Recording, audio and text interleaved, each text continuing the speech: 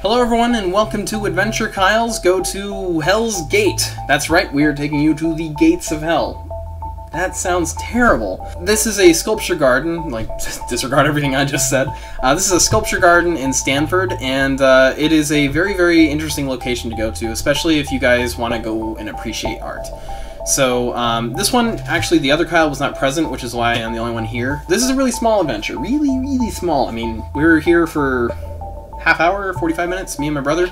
So uh, the first thing we're going to take a look at is all the sculptures kind of around Hell's Gate, because Hell's Gate's cool, but I don't want, it's going to be a big reveal, like, you know.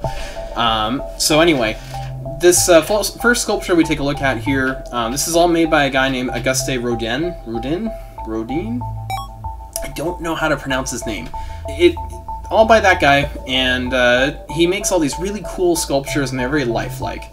And the first one here, you see these three guys who are putting their heads together, and I mean literally, like, the guys on the far right, you know, the center and the right guy, their heads are fused together, and that's not a mistake. This was made out of marble at one point, this is a bronze casting of that. They're all kind of twisted and grotesque and, like, morphed and weird looking, you know. A lot of different sculptures to took a, to take a look at, and uh, uh, you guys will see, you know, um, as I'm talking, a bunch of them kind of flash by real quick. And it's because I don't want to give away too much if, in case you actually want to go there.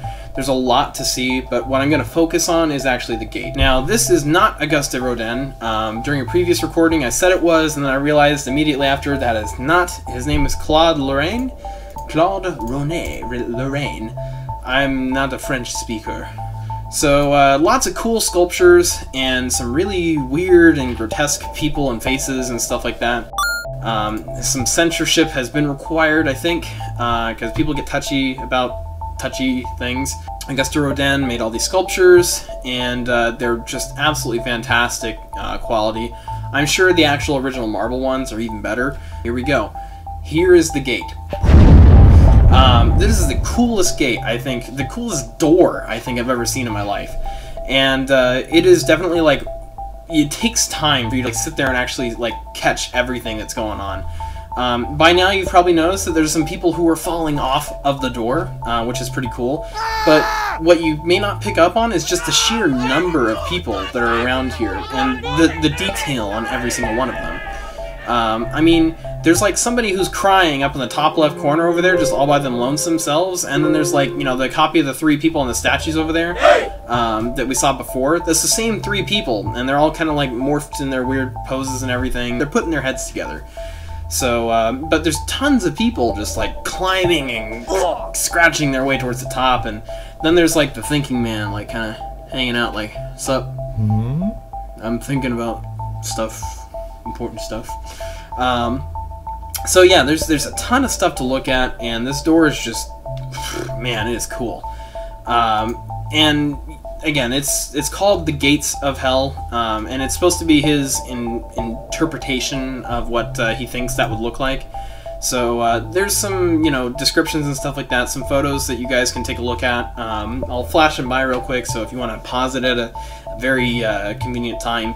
You can read it. Um, it gives you the history of you know uh, how he came to make the gate and all that kind of stuff. So uh, um, and just some thoughts in general. So it's really cool. We do these things where we try to get ourselves in the same photo as many times as possible. Basically, we play around and we have fun with this. So um, when I went through, I tried to go and copy every statue that I could get next to, and uh, so I'm just going around and contorting my body weirdly and doing weird things. And the very last photo I do there is it's fantastic because it looks like I'm a freaking ballerina.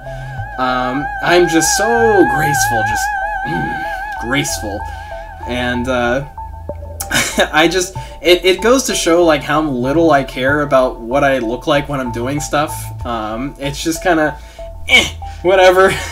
I mean, we're pretty much alone in that park anyway, so what, what's the matter? Um, so uh, I asked my brother to do the same thing, and uh, my brother, um, little do you guys know, uh, happens to be one of the biggest trolls that ever lived. Um, and not like he's ugly and lives under a bridge and tries to eat goats and things like that, but he's my brother. What, what can I say? So uh, I asked him, go pose with the statues, and well, it'll be a cool photo. And so he does, and what does he do? He tries to poke every statue in the butt. So I'm going to pan across here, and uh, just give you guys some time to look at it. I'll zoom in appropriately. I got him in there four times, and he ran around and tried to poke everyone in the butt, but he couldn't do it for the last one. So it was a lot of fun. We had we had some fun. Me and my brother we bonded and did bonding type things. Um, it's a spooky door. It's a it's a creepy door, especially because we got we stayed there until after dark. And if you were just like going through like a cave or something like that, and then like you know, you're getting deeper and deeper underground, and then you just saw, boom, that door. yeah, I would be leaving immediately. Um, I don't know. The other Kyle might try to charge through it or something like that.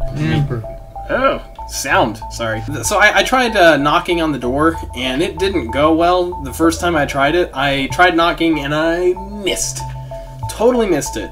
Uh, I was looking so closely at the phone, making sure that I was you know, doing all the things right, and just Nope, missed the door entirely. Tommy! So, uh, uh, one last thing, and rather than talk about it, I'm just gonna get quiet for a second and play some very copyrighted music. I apologize immediately to anybody who's gonna take offense to copyrighted music and all that kind of stuff.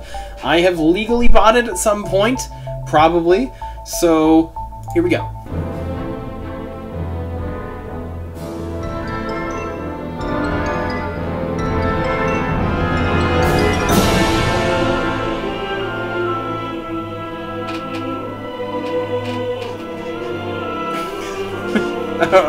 okay, so uh, uh, that's that's really a shout out to all those Full Metal Alchemist fans out there. So anyway, uh, this has been the first adventure. I'm gonna cut it here, and again, it's this was a very small one. So if anybody's complaining about like the lack of excitement and craziness to it, it's because one, you know, some of these adventures when we're at like museum type things settings, you know, we can't do anything too crazy because we'll damage the artwork or we'll be stupid and get kicked out or whatever. Um, but two, it's like part of it is just I'm trying to show you guys places you can go to and see, and uh, to get you guys to kind of like take advantage of the time that you have.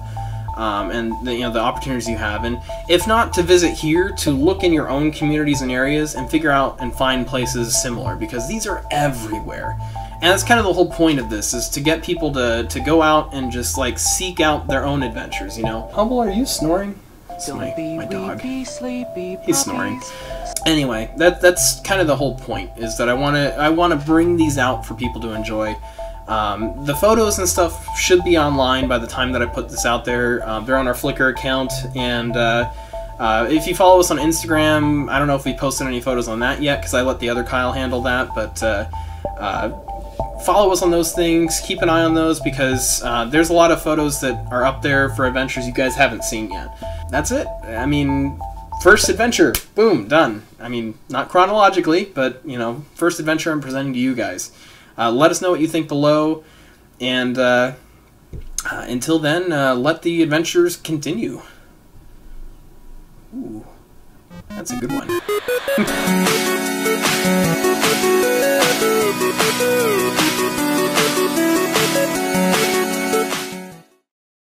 Dominating!